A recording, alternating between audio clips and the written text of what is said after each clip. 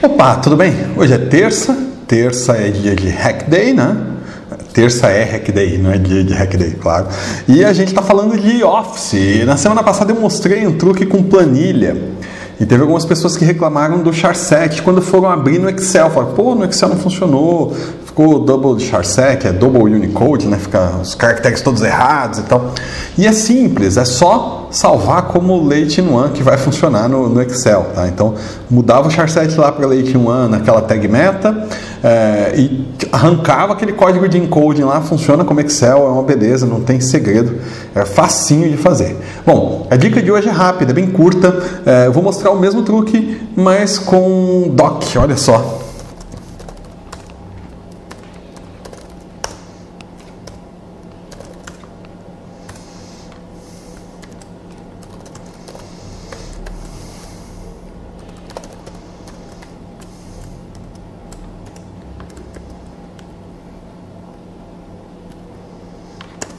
Um,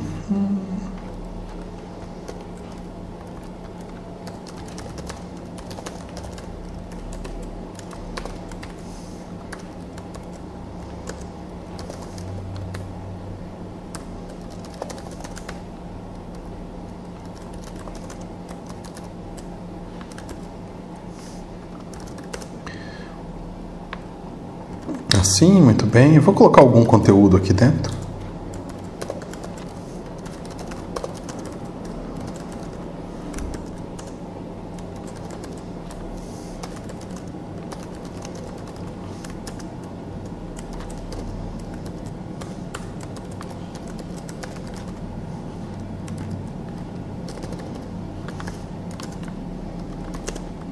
Assim.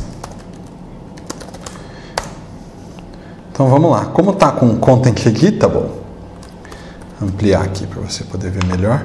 Eu consigo clicar aqui e colocar coisas, selecionar e colocar negrito, itálico, sublinhado. Facinho de fazer, olha. Opa, não, não é aqui não. Aí.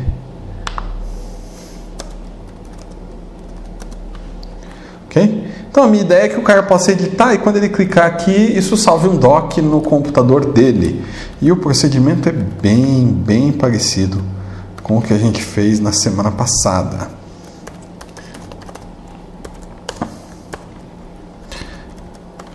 E aí, olha só, o que a gente fez na semana passada era algo assim, né? Eu faço uma função e essa função pega os links.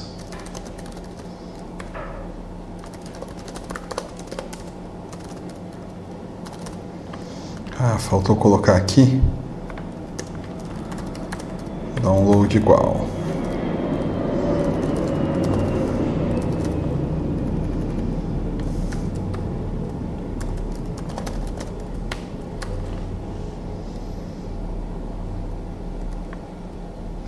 Opa, não, não é isso não. É o A. Cujo href começa com isso aqui. E tem download, desse jeito. E aí, query selector all. Era assim que a gente tinha feito.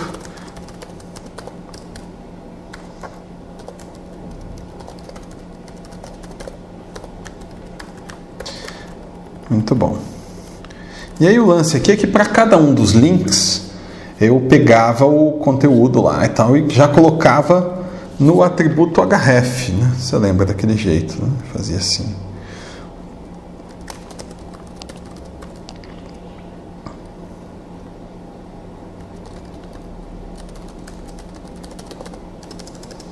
Get attribute href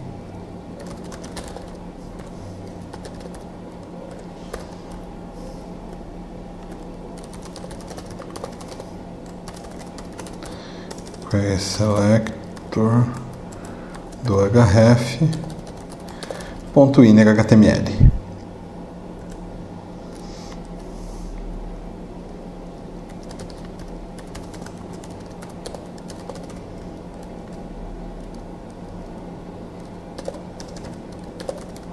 e o atributo href vai ser igual a data, dois pontos, text plain, base 64, vírgula, mais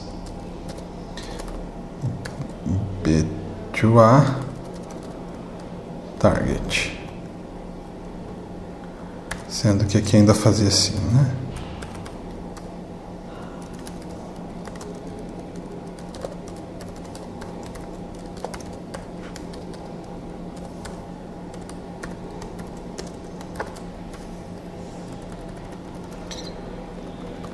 Ok? Desse jeito.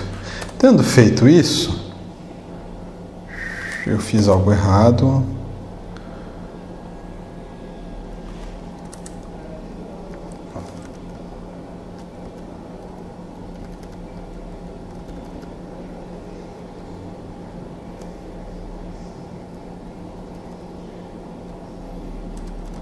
É aqui. Isso, vamos lá. Aí sim. Tendo feito isso, olha só, o link já está lá, tá vendo? Então, se eu clicar, ele vai salvar. O problema é que se eu editar o conteúdo aqui, ele vai salvar sem esse conteúdo editado.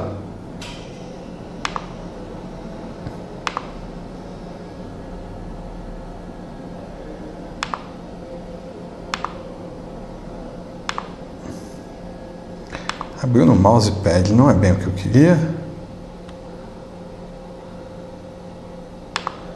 que que tá? Tá lá, tá vendo? Então, ah, char 7, tá bom. Char 7 você já entendeu como funciona. Mas a questão é o conteúdo editado. Como é que eu vou fazer, hein? Então, eu preciso fazer com que ao clicar no link sugere para mim o conteúdo ou ao sair, né, ao dar é, sair o foco daqui ou até ao modificar. Então, tem uma porção de eventos que eu poderia usar. Um deles aqui é o seguinte, olha só.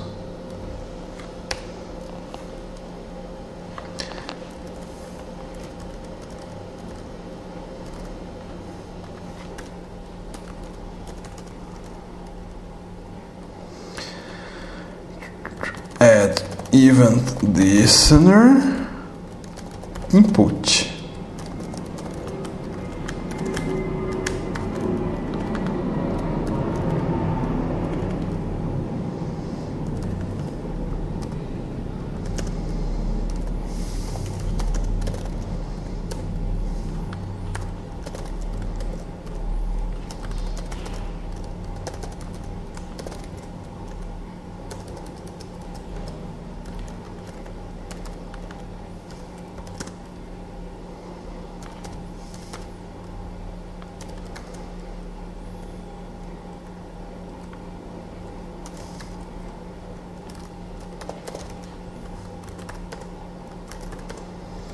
Eu vou dar um console log aqui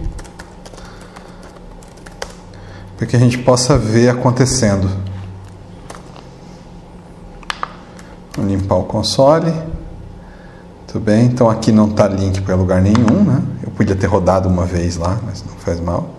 E olha, conforme eu vou modificando, ele vai inserindo aqui embaixo modificado e está alterando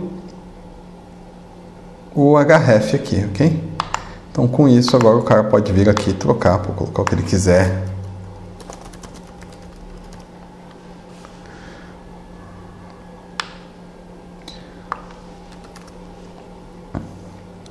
Inserir itens nessa lista aqui. E quando eu mandar salvar doc,